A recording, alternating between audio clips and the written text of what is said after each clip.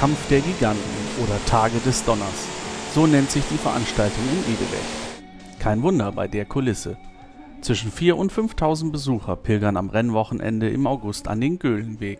Ja, das Traktorpulling-Event ist eigentlich ganz einfach zu beschreiben mittlerweile. Äh, es ist ein kleines Familienfest geworden für Jung und Alt.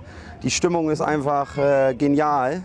Und äh, selbst die Moderatoren kommen hier mittlerweile sehr gerne her, weil einfach äh, coole Stimmung ist und die äh, Zuschauer immer gut drauf sind, immer Party ist und ja, für jeden was dabei, sag ich mal.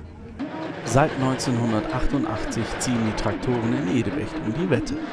Vier Jahre später, 1992, findet erstmals ein Lauf zur deutschen Meisterschaft statt.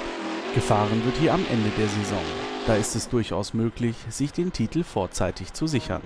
2011 schaffte dies etwa Josef Reinke vom Kloppenburger Team Bruns auf dem Pro-Stock-Schlepper Blue Wendelin. Wie soll man es nennen? Geil. Gibt kein besseres Gefühl. Wir haben es ja gehofft. 20 Jahre Edelweg, 10 Jahre Team Bruns und dann den Deutschen Meistertitel. Und das hat knapp gereicht, aber es hat hingehauen. Ziel beim Traktorpulling, den Bremswagen über die 100-Meter-Marke der Strecke zu ziehen und so einen sogenannten Full Pull zu schaffen. Dabei bewegt der Traktor das Vierfache seines Gewichts.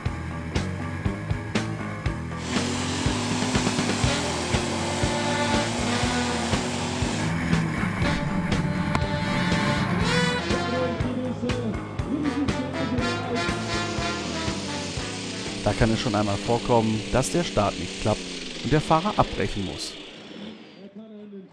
Die Drehzahl fiel ein und wenn die erstmal unter einer bestimmten Drehzahl ist, dann kommt der Motor nicht wieder hoch. Dann macht man lieber einen zweiten Startversuch. Geschieht dies innerhalb der ersten 20 Meter, heißt es, ich komme wieder. Ein gelungener Start und auch die Abgasfahne sieht spektakulär aus. Möglichst schwarz soll sie sein und kerzengerade nach oben gehen. Dann hat man das richtige Mischungsverhältnis.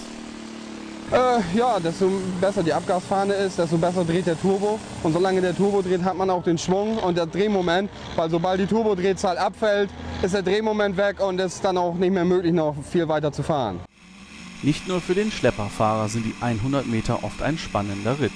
André Scharre sitzt seit 1988 auf einem Bremswagen wie dem Red Shadow und findet das Gefühl immer noch unbeschreiblich.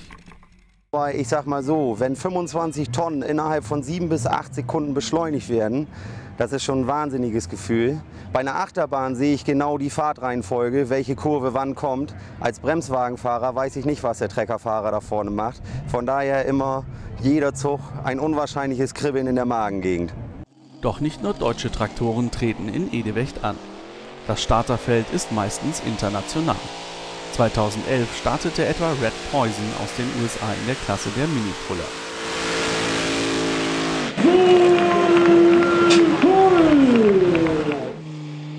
In der Pro-Stock-Klasse waren ein Jahr später Trecker aus Dänemark, Luxemburg, Frankreich und natürlich den Niederlanden dabei. Holländische Schlepper wie etwa Extreme Temptation sind in der Regel auf den ersten Plätzen zu finden.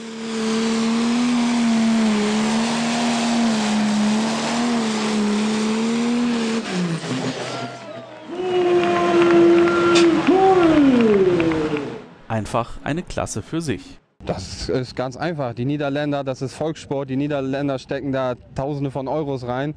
Und in Deutschland ist es halt nicht so ein bekannter Sport und deswegen wird da auch nicht so viel Geld investiert, auch nicht von Sponsoren her. Und deswegen hängen wir da noch ein bisschen hinterher, aber wir arbeiten dran, da irgendwo mal anknüpfen zu können. Der Kampf der Giganten findet jedes Jahr Anfang August am Göhlenweg in Edewecht statt. Das Programm und das Starterfeld in den einzelnen Gewichtsklassen finden Sie auf der Homepage des Veranstalters unter bremswagen.de.